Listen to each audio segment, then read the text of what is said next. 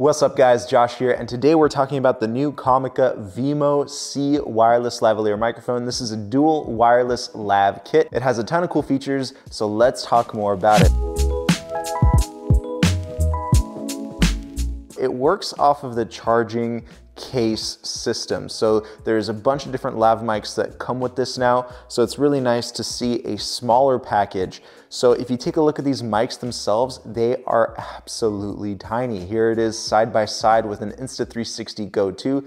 These things are literally bite sized. Now Comica is known for making affordable microphones in the past. They sounded just okay, but I really think they hit the nail with the Vimo C because of its size, its portability. I'm in a big vaulted ceiling room right now with tons of echo. I mean, you can hear the quality of my voice. This is it right now recording me. It's bite sized it's tiny. And one thing that I particularly love about the system is that each microphone and even the receiver is standalone and independent, meaning that you can charge it without the charging case. It's all powered by USB-C charging, so you can just plug it in without having to rely on the case itself. It gives you about 20 hours of runtime, which is perfect for any shooting situation. And especially if you're moving from one shot location to the next, you just put these microphones and the receiver back in the charging case and it's charging up while you're switching your shooting positions. So really love that feature there. Now we have three different audio recording modes. We have the stereo mode, the mono mode,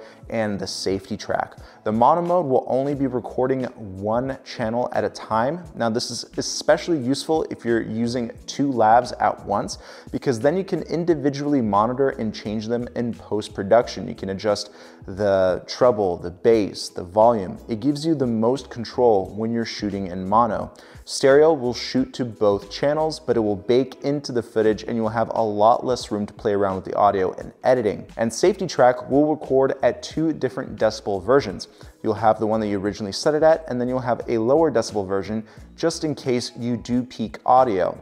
Now, what I really love about this microphone is that when it peaks, it doesn't distort like crazy. I've had this issue with the Hollyland Lark 150. It would just distort to the point where my ears would start bleeding. But this, if this just distorts, if I get really, really loud, I mean, it, it does sound distorted, but it doesn't go and by the way, this one has the best battery life in its class. Uh, I can use this all day without having to worry about putting it back in the charging case. Also, the display on the receiver works really, really nice. It has this matte finish. It doesn't glare, so you can see it in sunlight pretty well and it works off of the cold shoe or hot shoe adapter on your camera, so it just clips right on.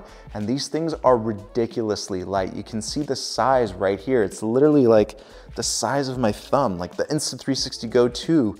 It's smaller than that thing, and that's a tiny camera. Now, unlike any other wireless lav that I've used, this one actually comes with a padded case finally a company does this.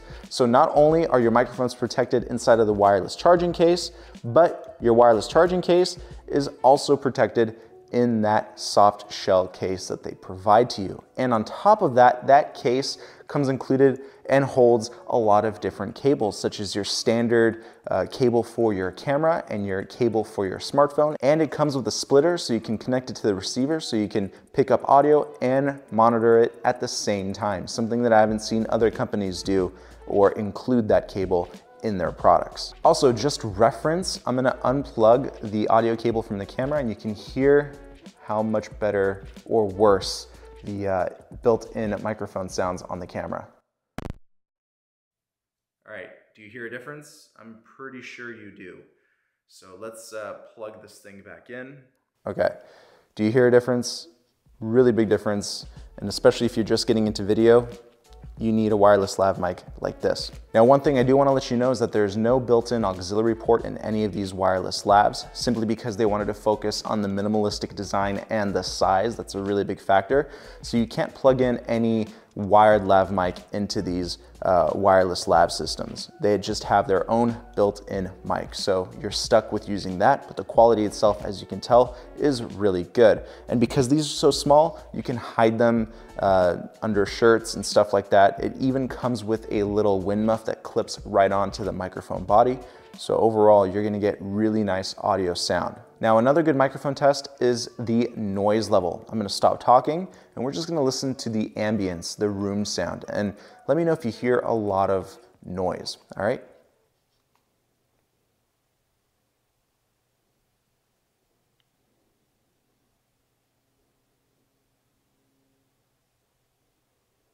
So Comica states that they've upgraded the noise reduction chip inside of this microphone system. Uh, when I've, what I've heard from editing, it sounds really, really good, especially without using any recorder. The receiver gives you real-time audio monitoring so you can see what volume levels your audio signals are getting picked up at. You can also adjust the volume by pressing on the knobs or on the buttons on the side of the receiver. And you have individual power off buttons on each of the mics and the receiver itself. And they also double up as a mute button. So I just really like using the Vimo C. I think this is a absolute game changer for Comica to create such a good microphone. So let me know what you think about the audio quality in the comment section down below and I'll see you in another video. Peace.